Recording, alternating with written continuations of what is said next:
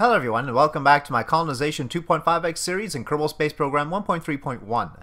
In this episode we're going to begin by launching a scanner probe to the moon and Minmus to figure out where the resources are to better position our bases. So the idea is that this scanner will go to the moon first, handle the resource scan, and then travel over to Minmus as well, but we'll see if it can handle both.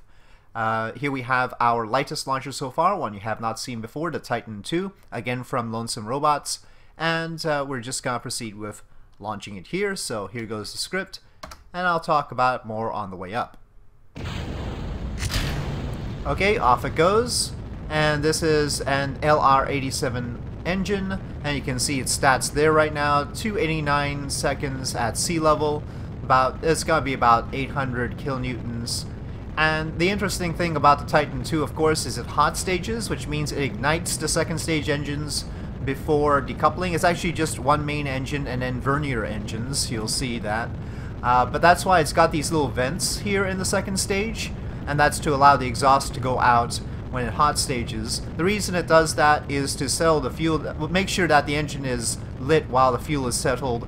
Otherwise, the, the fuel in the stage could be sloshing if you try and separate this stage first and then later light this stage yeah, the fuel might slosh about and not properly get into the engine.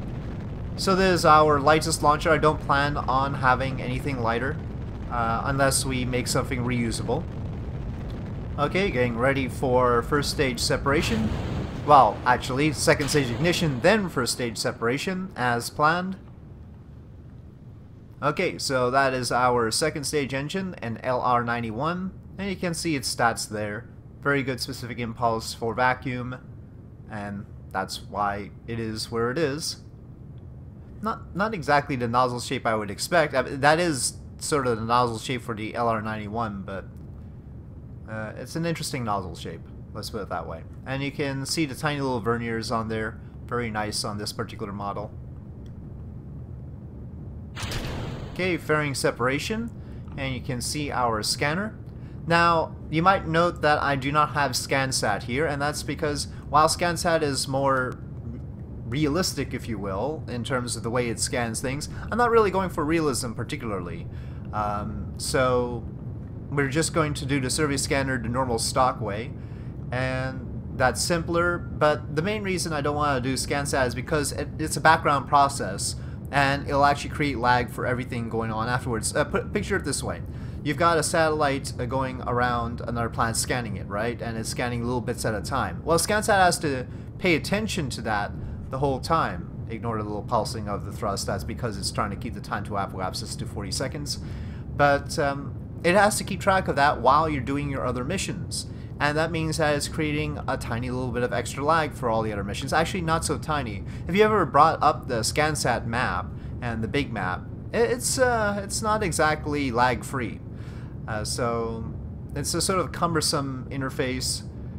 And I mean, I, I like it in principle, but as long as I'm trying to keep this as smooth as possible, because we're going to have a lot of missions. We're going to have a lot of active missions here. We're going to have to scan all of the places.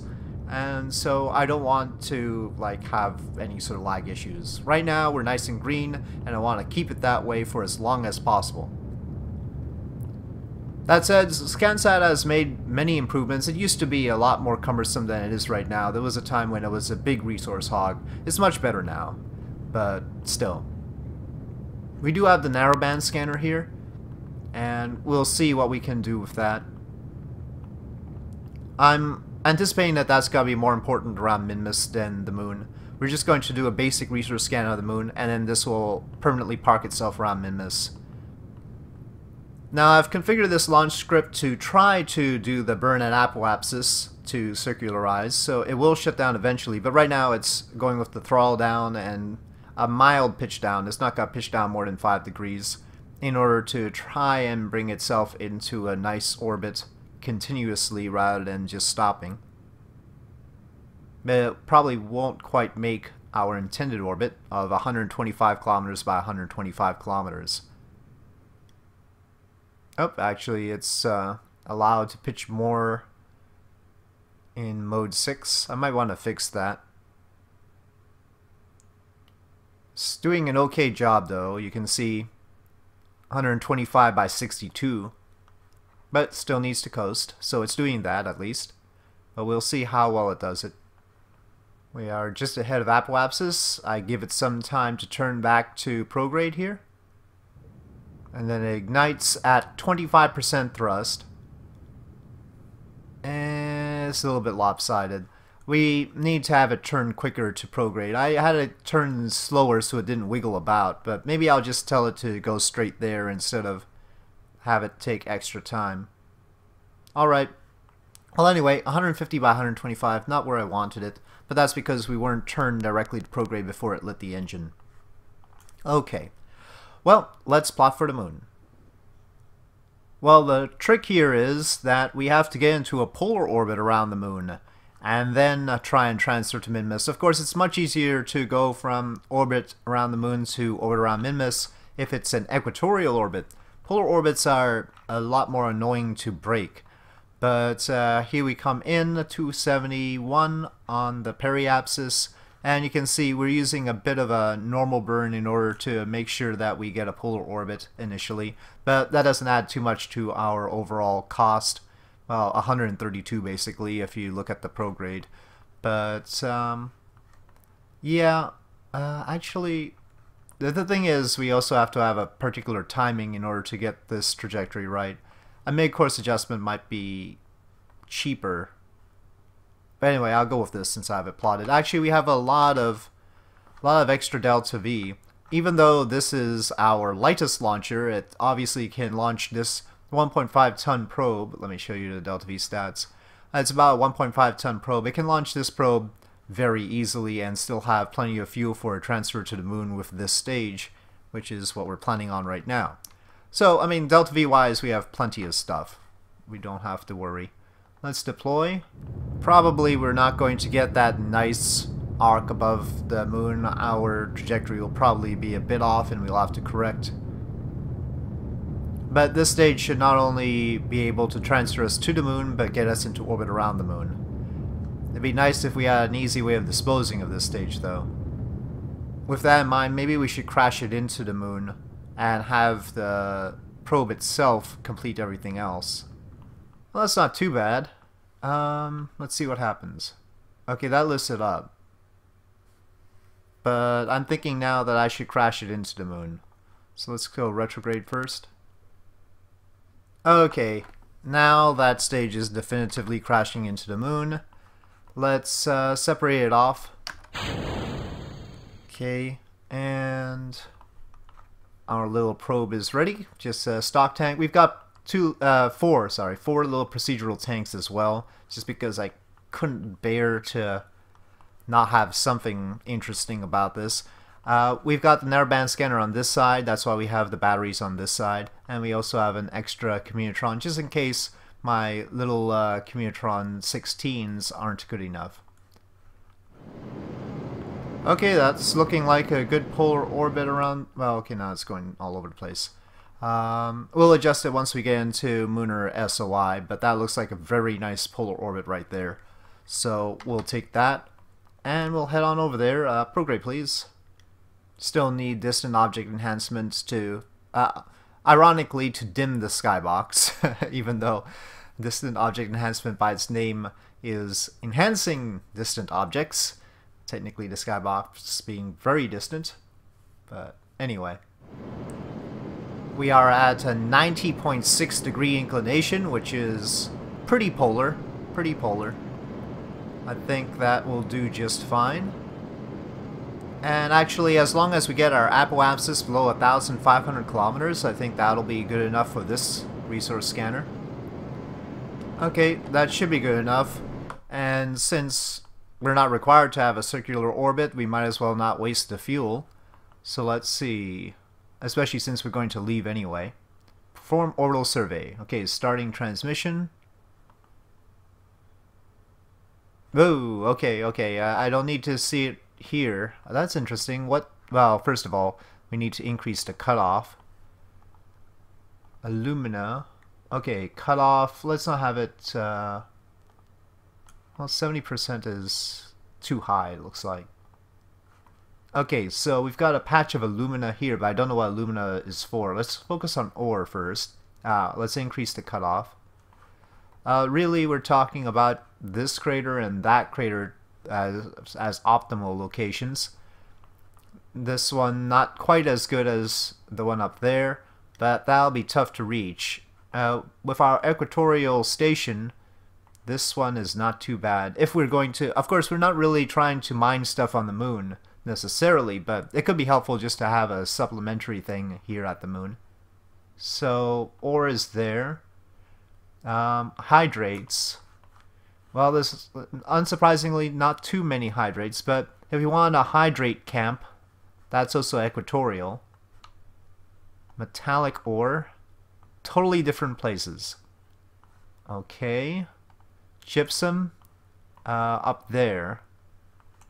So that's extra enticing, but I don't, I don't know what gypsum is for yet. That's part of what I'm trying to learn here. I didn't really get to that part in previous series. Uh, silicates we can do at the same location as we get ore. Uh, maybe if we are on the edge here, we can branch out into substrates and uraninite and water. Water is super important because we're using TAC life support.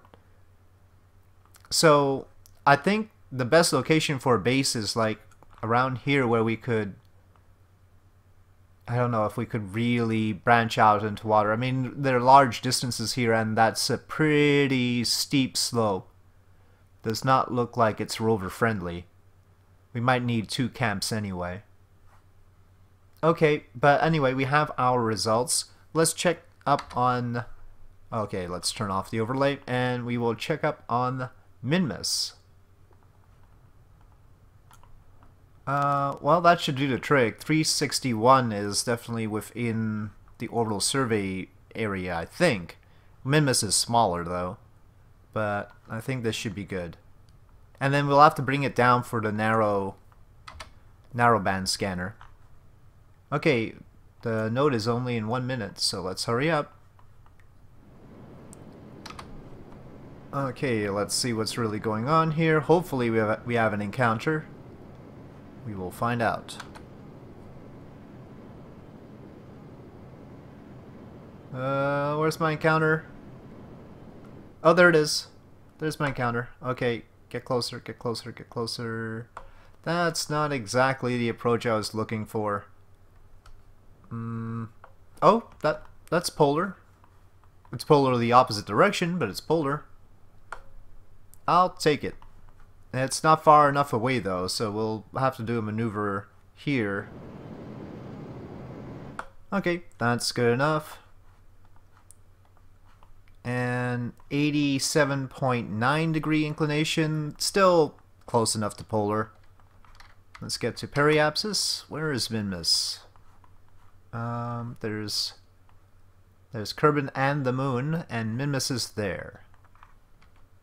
We may need to wrangle an asteroid or two, give Minmus some companions. Wrangling asteroids is bound to be much more difficult in here than it is in stock, so it should be interesting. Because we are at 2.5x scale. We will eventually need to get this to a lower orbit. So we are making a tighter orbit around here than we did around the moon, but we don't, don't need to go lower than that, I think. Perform orbital survey. Looks like it accepts this altitude. And there we go. Science added. And we've got survey data. Let's take a look at the overlay. Doesn't show anything there. Let's see. Hmm. Lower the cutoff. Let's start with ore. Well, there's plenty of ore. 80% cut off. Well, that's 90%. 80% cut off. There's still plenty of ore uh, under the orbit of our station right now. Maybe down here. Let, let's just focus on down here and see what other things we can find. Alumina, not so much. But what if we reduce the cutoff? Ah, yeah, actually, at a 70% cutoff, there's some visible here. Dirt. Really? Dirt's hard to come by, huh? Only 30% here. Exotic minerals, totally not. We'll have to go up there. And that's the only place on Minmus to get exotic minerals. Gypsum? Not quite in the patch we're looking at, a little bit to the west. Hydrates are good. Um, hydrates, 90%, 90%. Wow. Minmus is very hydrated. Um, if we reduce the cutoff here, do we get... No, this patch is definitely bare of gypsum. Carbonite, well, we're not really concerned with carbonite. We're going to stick to ore. Metallic ore. Um, yeah, uh, this is a bad patch for metallic ore. We'll have to go to the west again. Same with minerals. So, gypsum, metallic ore, minerals, all in the same band, sort of over here-ish. Monazite, monazite is uh, good enough in the same area as the ore is. Rare metals, not so much. And also not in the same location as the gypsum and all. Silicates, uh, no silicates here. Substrate, no. Well, okay. Uh, at a lower level, there is substrate here. Uraninite, no. I mean, there is elsewhere on Minmus, just not in the patch we were looking at. And how about water? Ah, that's a deal breaker. Well, well, not really, I guess. Well, we could get some water up there, but not much. I guess we will be getting our water from the moon. Yeah, I don't think it's worthwhile at 20% cutoff and it all disappearing at 30%. Uh, it looks like water water mining will have to occur at the moon. Okay, so I need to know about this narrowband scanner. Uh, it looks like it's doing stuff. I thought I needed a lower altitude. Let's go back to the VAB and check the altitude for the narrowband scanner, and then we'll continue with other things. Okay, well, it says scans are enhanced while landed on the ground, splashdown, or standing by to launch. So, not, not as good in orbit, but it is functional in orbit up to a max altitude of 1,250, no wait, I'm missing, uh, yeah, 1,250 kilometers. Just checking, I got all the zeros there. Okay, so let's just keep it there and we'll have to add, a, add an narrowband scanner to a rover or something. But on to the next thing. Okay, hello everyone, and it is a new dawn here at the Space Center where we intend to launch the first four modules of our Lunar Station all at once on a Duna 6 rocket. Uh, this is a precarious payload, obviously. The payload is almost as tall as the launcher itself. Uh, delta V wise, we appear to have enough not only to make orbit around Kerbin, but of course to transfer over to the moon and make orbit there. But let's see if this works. Um, yep, this should be interesting. I'll show you the payload once we decouple the fairings, if that happens to occur successfully. But here we go. Uh, well, a, decent amount of auto strutting has occurred, but we'll see whether it's enough. Alright, um, let me take a look at the Duna 6 launch script here. I haven't adjusted it to do the um, circularization burn or anything. Otherwise, the numbers seem to be alright. Let's try it out. I don't recall having any obvious problems with it. We're going to need to launch a material kit mission to the station afterwards to actually expand one of the modules. And we don't have a full load of machinery yet. Oh, rotation. Okay. Okay, we'll go away. I really need to... Okay, we've got a bit of a... Hold on, let me see if SAS helps. Bit of a rotation problem here. Uh...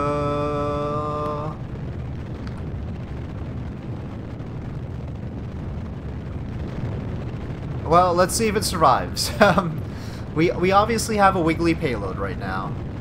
Auto we did not auto strut enough, clearly. But we might still make it. I mean, it's not deviating that much from prograde, even though roll, pitch, and yaw are going all over the place. Okay, boosters have decoupled. We're sort of decelerating at this point. But now we're picking up again. No big mystery about what the major issue coming up is its fairing separation. With these huge fairings, there's no telling what's going to happen, whether it's going to take out the rocket or not. Will they decouple with enough force to clear them from the rocket? That's the question.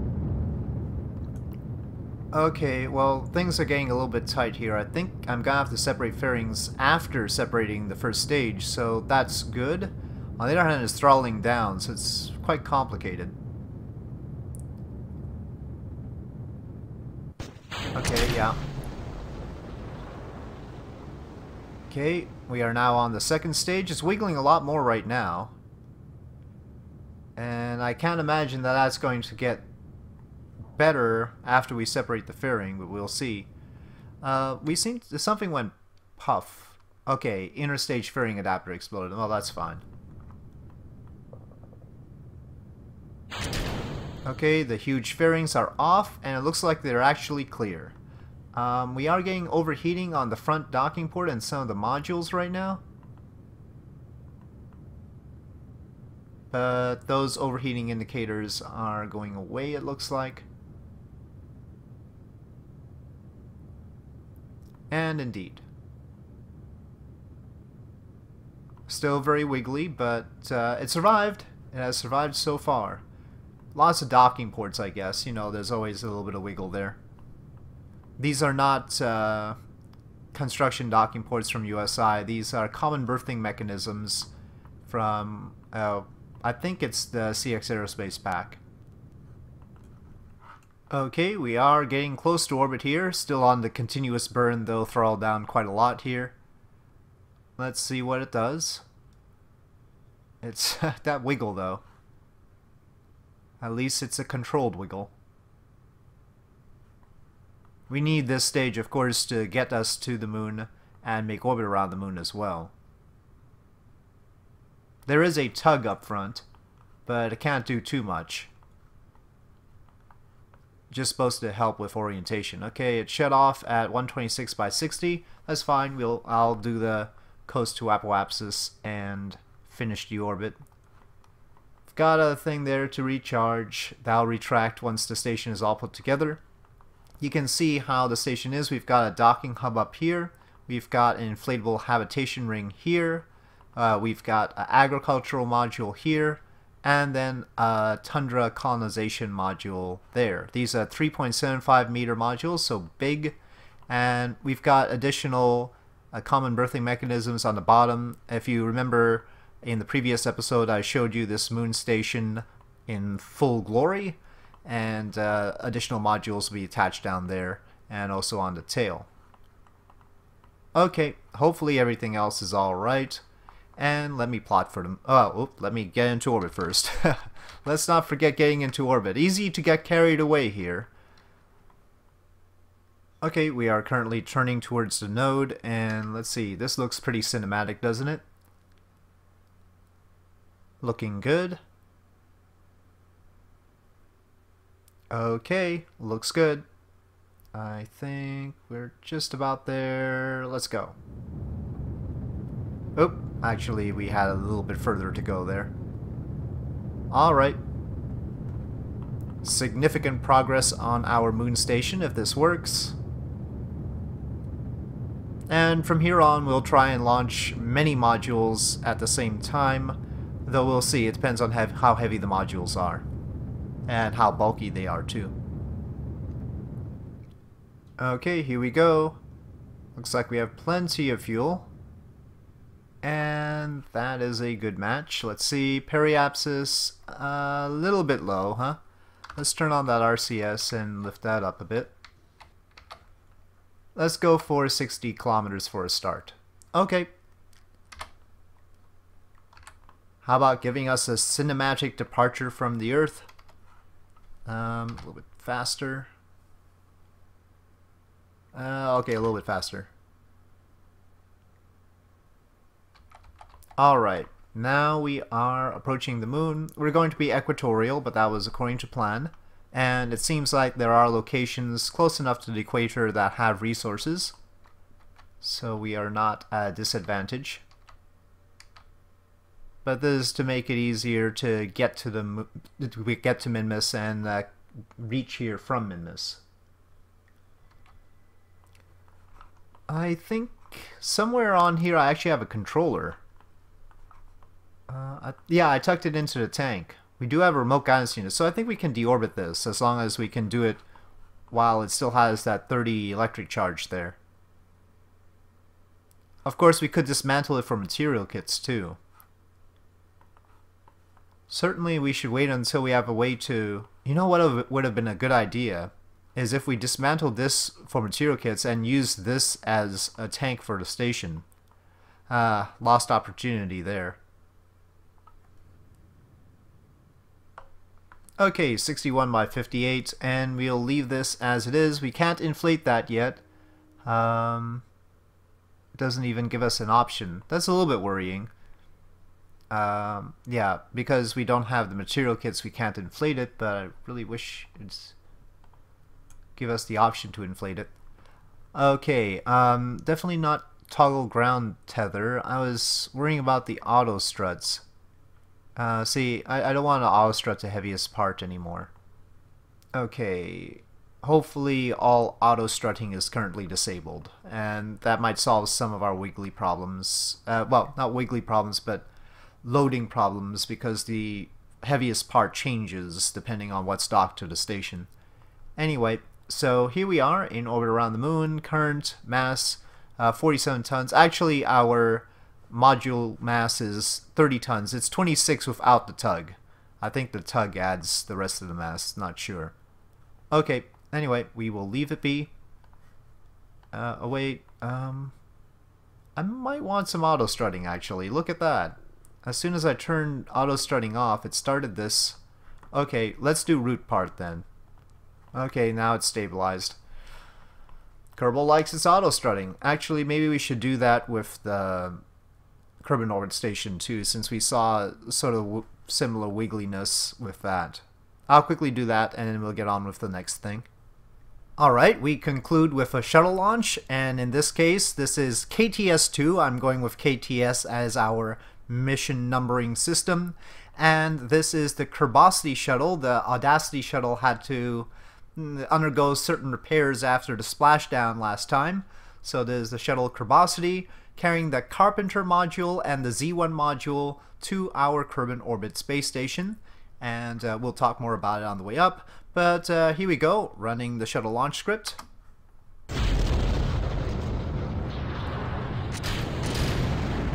Okay, and we're off. It's a little bit tricky with the station modules because we're using common berthing mechanisms and they have an active and a passive side. And so we have to make sure that we get that right. We are carrying a tug in here because the tug that we already have at the space station doesn't have one of the sides of the common berthing mechanism and we actually need both this time. Our Kerbals all look a little bit distraught and that's because while they are very, very sharp Kerbals, our new recruits, uh, they aren't particularly stupid. so, so anyway, they're feeling a little bit better now. Uh, the new recruits are Kaiser Kerman, uh, Nathaniel Kerman, uh, uh, Dash, Dafdos Kerman, Dafdos Kerman, and Hadnan Kerman.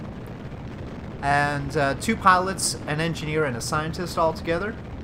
Uh, it looks like, I, I think that's a camera overheating, so no worries there. We did have to fix something, but I forget what that was. I guess we're, we're about to find out. These do uh, trail off on their thrust, by the way, so they do have a thrust curve which is interesting. They do have a shuttle-like thrust curve. Oh, that's bad.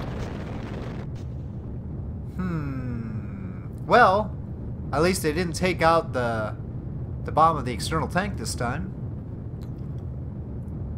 I wonder why the timing was off. Because the boosters are supposed to just last however long the boosters last. Ooh, I think there was a problem with the boosters actually throttling down when this throttles down, which they shouldn't, obviously. Yeah, I need to fix that. Yeah, obviously SRBs are not supposed to throttle down with... I mean, th uh, having a thrust curve is one thing. Throttling down with the main throttle is a totally different thing. But yeah, they seem to have inconsistent burn times. And we're going to have to work on that. There's always something. No matter how simple you try and make something, there's always uh, a curious flaw. I did add Separatrons to the external tank so that uh, goes off cleanly and doesn't bump into the shuttle. We could do like a shuttle RCS maneuver, but this is simpler. And you can see I've angled the Separatrons so that they don't actually blast the shuttle. Hopefully.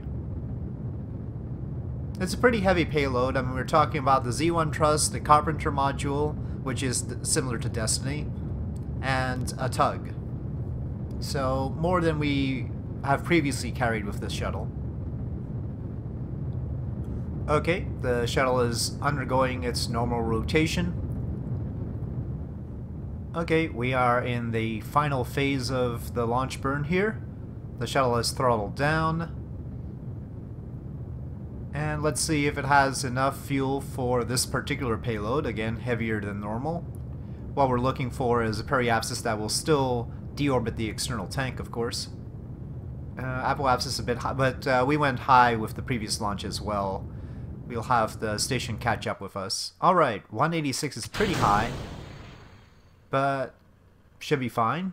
Okay, the external tank is off, spinning precariously, but still. Okay. It looks like internally we have 437 meters per second, which is a bit tight. Well, it seems to still have a problem with doing the circularization burn, and ETA to apoapsis less than 60, circularization burn equals 0. Apparently, it, the variable wasn't there. I don't know why. Let me uh, take a look at that while we actually do the circularization burn. Okay, that should do. Let's get on with the rendezvous.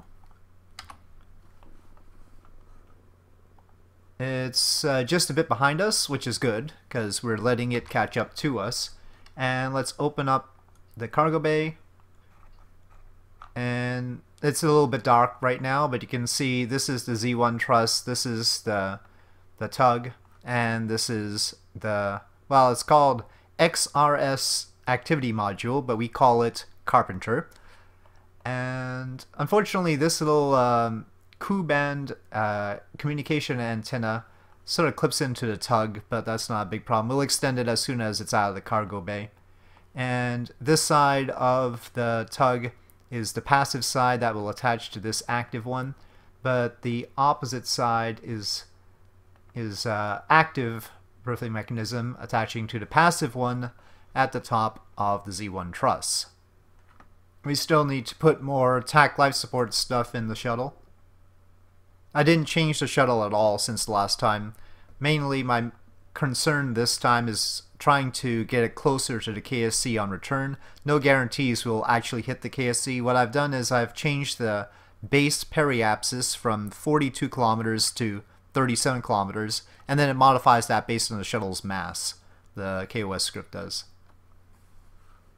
Okay, getting ready to park near the station. I've unlocked the fuel in the tug as well as in the module itself there. It's got some monopropellant, and that's why we're reading more delta V than we had before. Okay, so make sure this has power first of all. Yes, it does, just a little bit. That has more power anyway. And the Z1 truss famously has lots of reaction wheels. Decouple. Okay, switch. Okay, RCS is on. Uh, okay, there we go. I don't know about the RCS booms, whether they work or not. But we have them for now. Oh, let me extend that antenna. Uh, okay, so we need to dock this onto the Glenn module. And I don't know if this is the top of the Glenn module. Uh, yeah, well, there's a targeted docking port, and this is active, that one's passive, so that's a good match. Okay, slow down. Uh, let me retract this solar panel. It's sort of interfering with that antenna, and it might break off once we separate from the Z1 truss. Hopefully this common berthing mechanisms aren't quite so picky about rotation, but I don't know. I have not tried to dock with these particular docking ports yet. Okay, we have magnetism. Um, they seem a pretty good match right now. But it's not indicating a dock right now.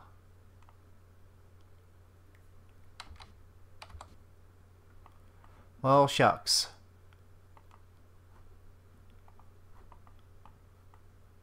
Uh... Oh, no, there it is. Phew. So a little bit problematic, not not as smooth as your regular docking ports, but but at least it docked. Okay. Now this unit has an active port there. Let's go back to the shuttle for a sec. This one has an active port. Anyway, we have to move this uh, this tug off anyway because that's where we need to dock the new module that it doesn't have the right kind of port. We need a passive port. So, back to this tug. It is now going to, that side is active, but its opposite side, this side is passive, so. We only have 15 electric charge, which is a little bit tricky because we'll need to retract the solar panels to get into the shuttle's cargo bay.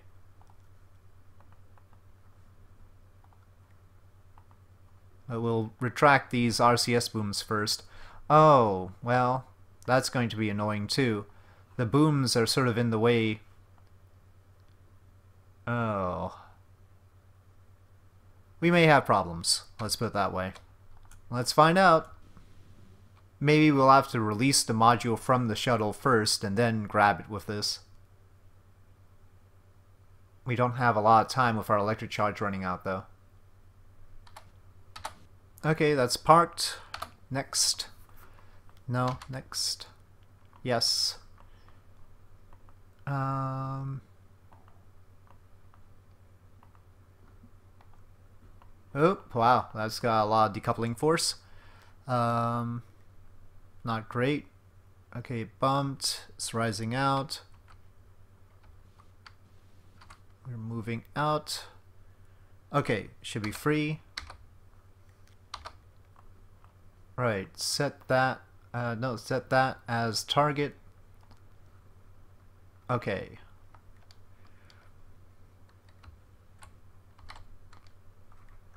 Five units left. Okay.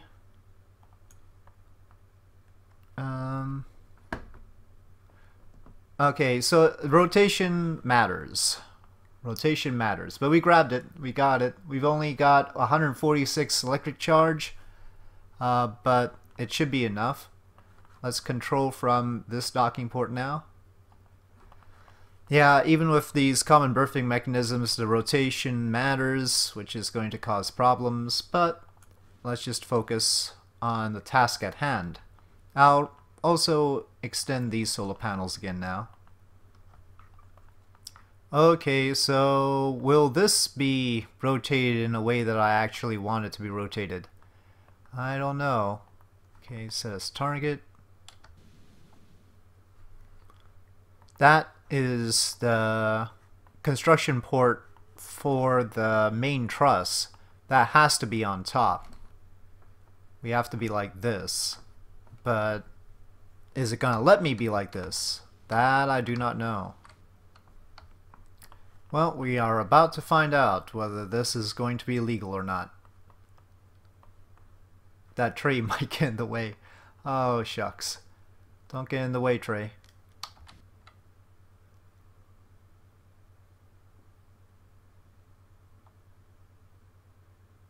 Okay. We have off-kilter magnetism. Hold on. Um... Hmm. My guess is that we can't dock it like this. Shoot. Uh... Oh, but that works. And I think that's close enough. Let's see. Oh, no, it works great. Actually, I was probably a bit off. Okay, so our Carpenter module is docked to the Glenn module. We now have a four module station. And it's looking okay. It's looking okay. I wonder if we should get a Kerbal out to blast those decals that are too big, but let's let's not go overboard.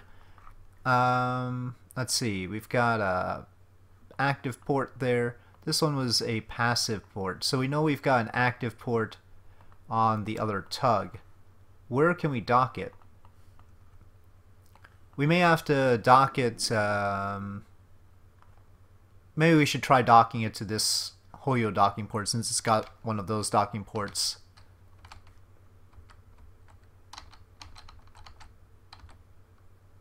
Okay, well I mean we bumped into it, but I'm not sensing any attraction between these ports. Let me retract these try and do the rotational thing. Oh, yeah, I mean, before, whenever we approach these ports, ooh, that's probably too vigorous. Um, there was some magnetism between them before we did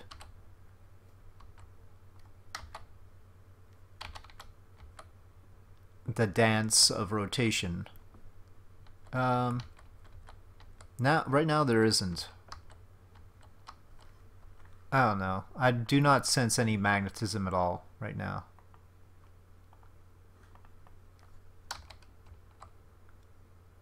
I think, oh wait, well that's pretty close. But yeah, there's no magnetism. It's just, we can get it very close, but there's no attachment. No, wait, that's off. I don't know. These these ports are uh, confusing me. Hmm. Maybe I should try the bottom one? Okay, this time I felt some magnetism, so that's good.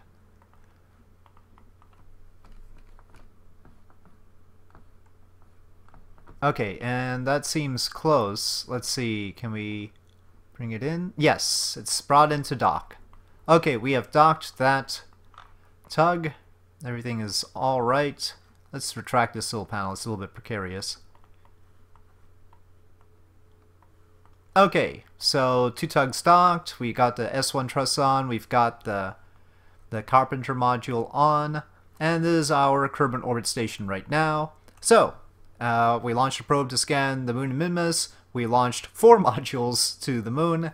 And we launched uh, two new modules for the station. The space shuttle is still in orbit, but I think I'll have to wait until the beginning of the next episode to bring it back. So, on that note, thank you for watching. I hope you enjoyed this video. If you did enjoy this video, please do press like. If you have any comments or suggestions, please leave them in the comment section below, and I'll see you next time.